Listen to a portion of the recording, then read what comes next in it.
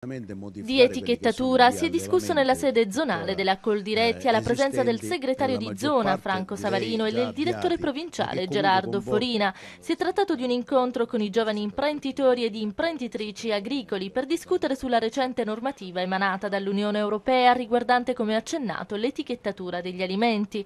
La nuova normativa, ha sottolineato Savarino, è frutto di un compromesso tra la Commissione Europea, Consiglio e Parlamento Europeo e giunge dopo quattro lunghi lunghi anni di sollecitazioni e richieste avanzate dalla Coldiretti per contrastare le emergenze alimentari, dall'influenza aviaria ai maiali alla diossina, alle mozzarelle blu fino al batterio killer. Sostituisce una vecchia direttiva del 1979 ed estende l'obbligo di indicare la provenienza in etichetta di tutte le carni fresche, dai suini agli avicoli e ovini, al pari di quanto era già stato previsto per le carni bovine dopo l'emergenza della mucca pazza.